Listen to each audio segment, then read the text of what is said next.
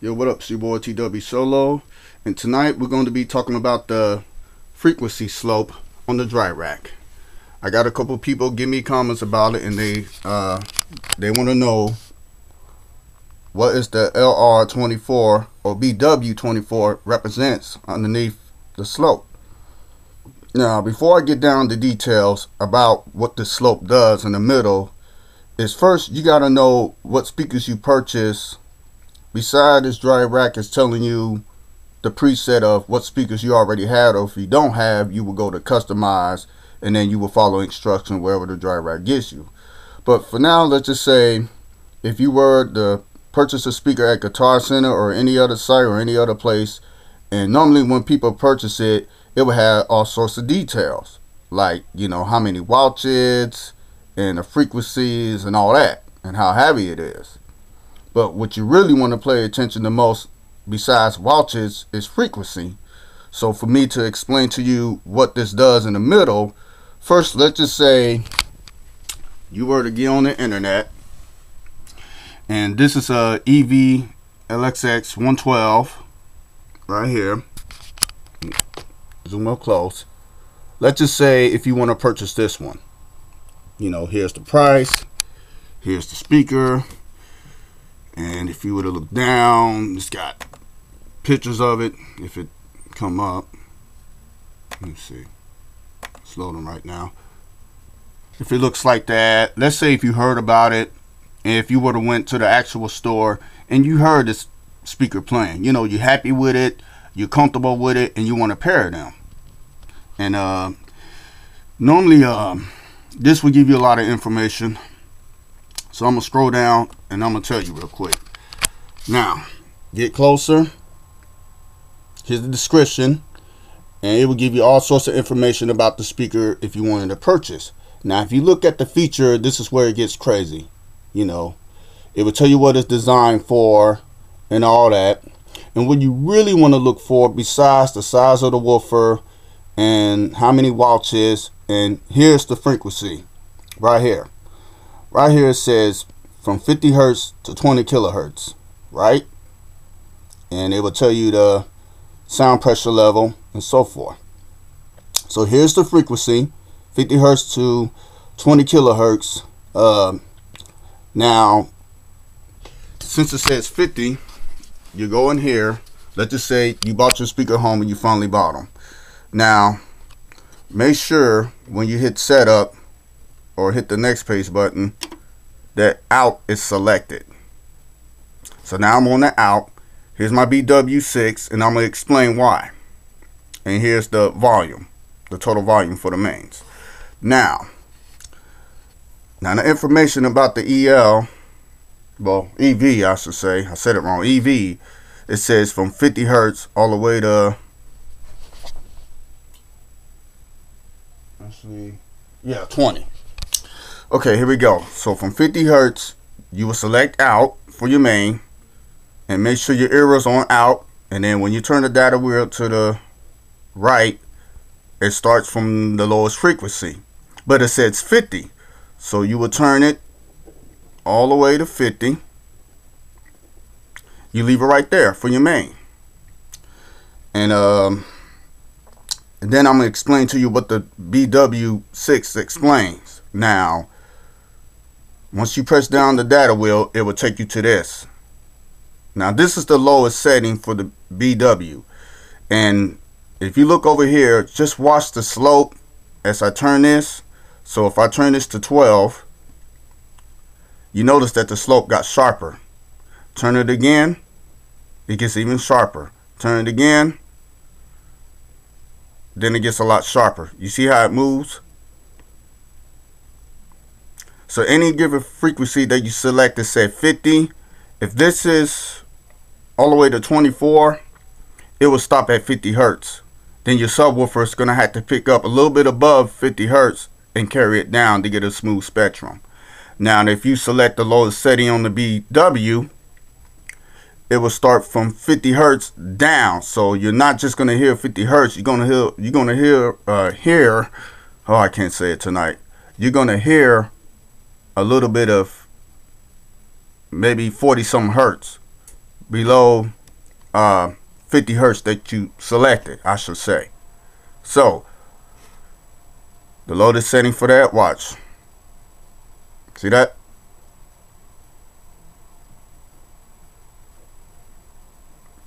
And there you go.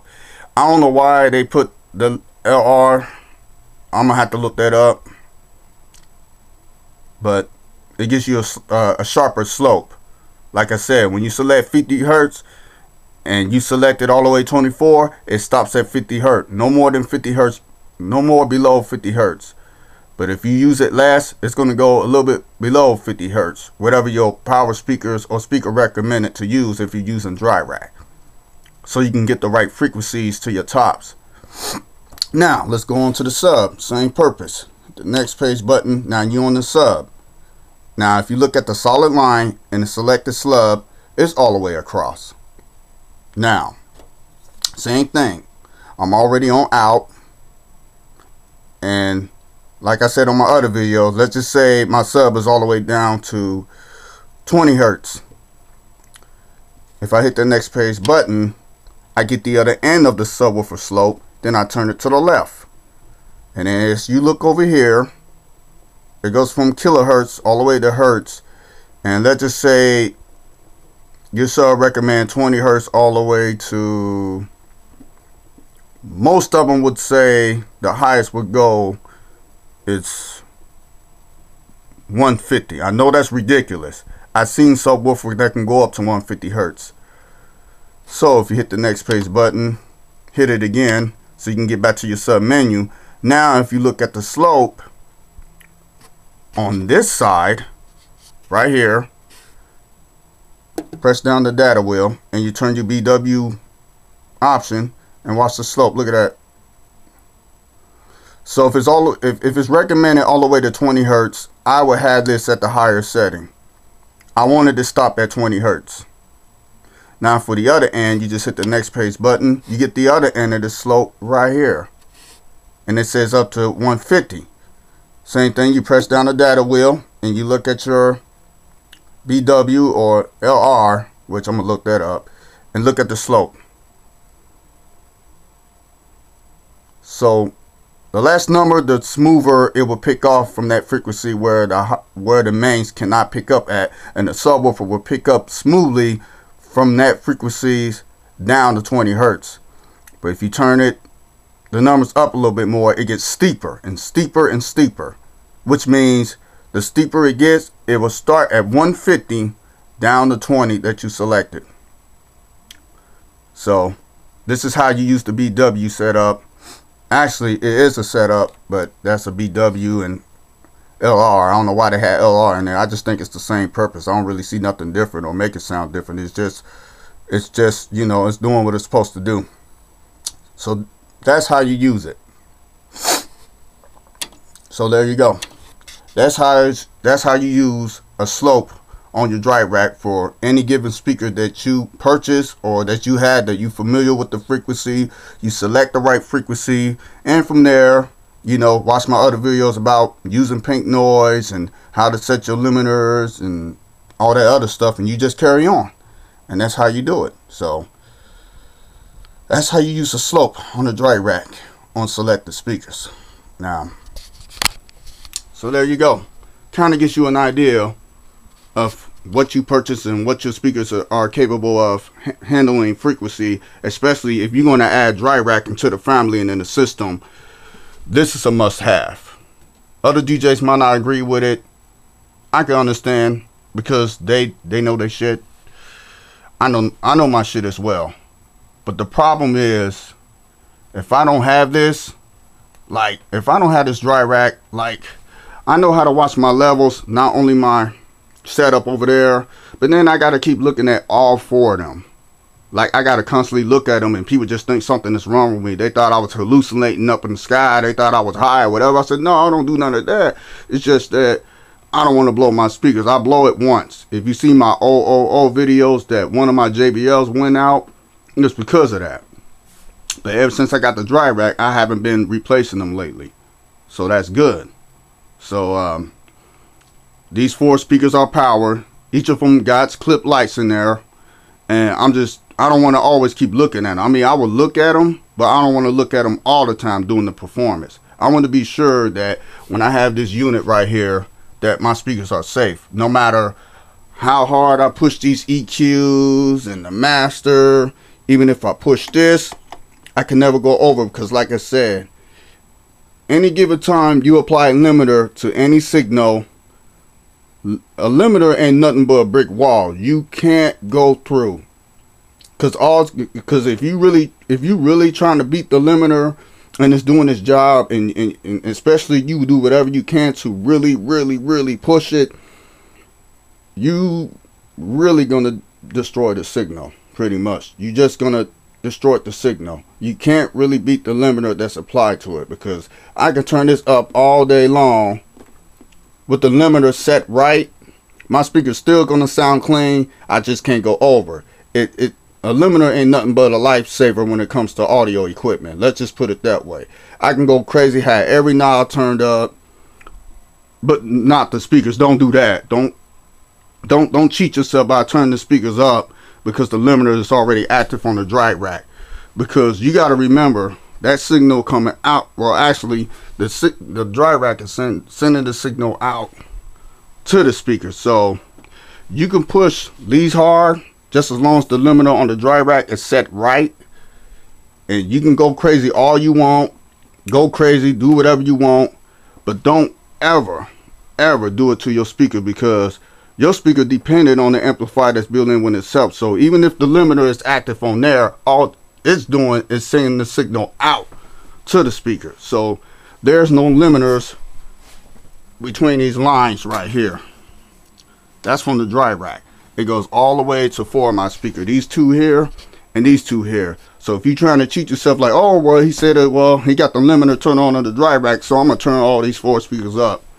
Don't do that because your speaker relies on the amplifiers itself unless they got a limiter built inside these internal amplifiers. So don't do that. You're going to blow it. You're just asking for it. Just be smart and be reasonable what you're using. You know, it's best to be safe on that side. Let the dry rack do its job.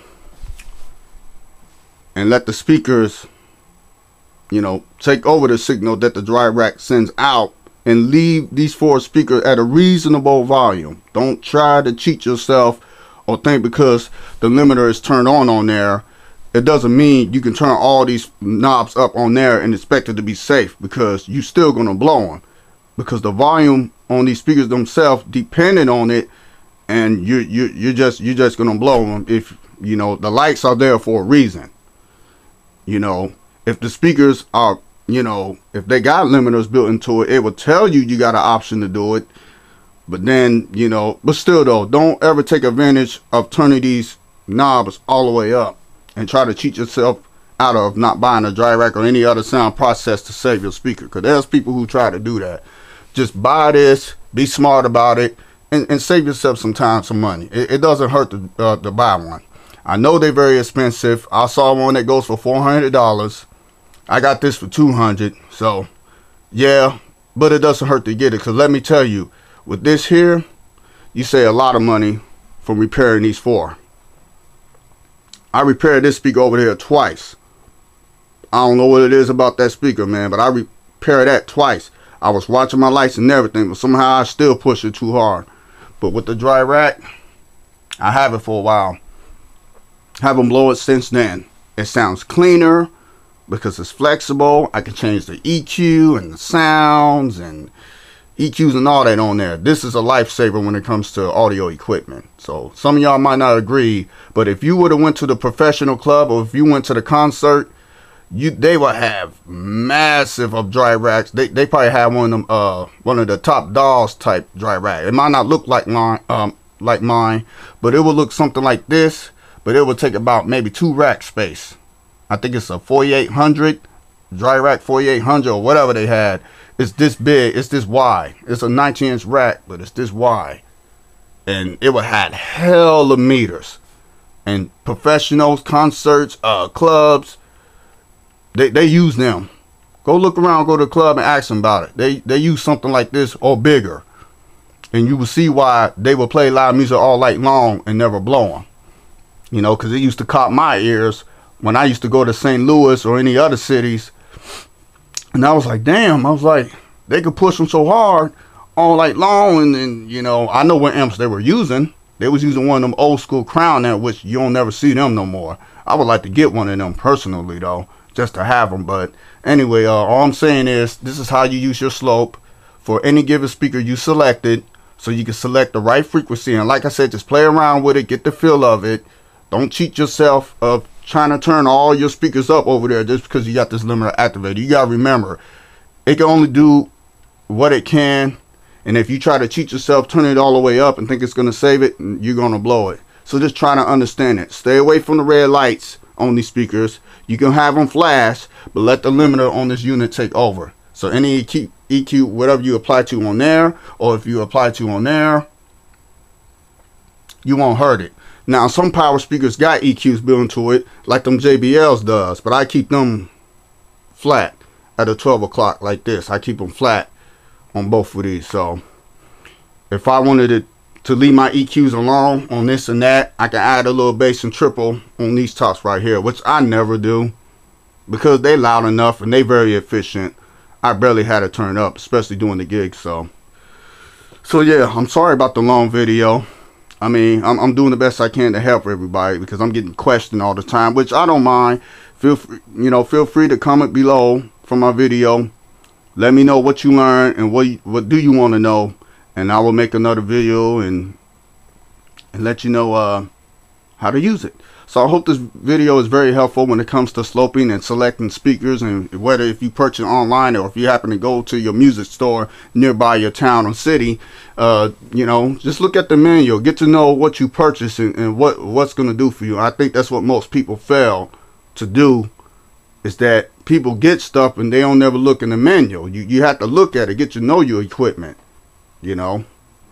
But for me, uh, you know, it really didn't took me this long to uh, understand this dry rack. I bought it, it was used. I bought this. It was just a display. No one touched it. No one messed with it. That's why I got it for cheap. I could have paid twice as much out of the box when I can get it used and no one just touches it. It's just displaying it, and it works extremely great. I love it, and um, it came with a microphone. It came with the cord and it, and it came with two XLR cords. Now, uh, the only thing it didn't come with is the box and it didn't come with a manual. So it took me quite a while to uh, to get used to using this system without the manual at all. I could have went to Google it and do it manual, which that's what I did. But I mean, I can relate to what a limiter and subharmonics and EQ does. I can relate to it because I make music in my studio. It's the same purpose. So I can relate to whatever I'm looking at. Okay, I know what it does. I know what it need to do. What it work for me. What it not work for me. I'm I'm on point. I you know I'm just that good at it. It's in my blood. But anyway, uh, I'm gonna cut this video short. I know I'm talking too much, and it's early in the morning. It's almost three in the morning. But I just want to let y'all know what the slope does. So if you got any more questions about the dry rack, about you know, anything. Meters, dry rack, speakers, software, subwoofer, main. Just let me know what's up and I'll be glad to help you out. So uh, thank you for watching. Y'all have a good day. Talk to you later.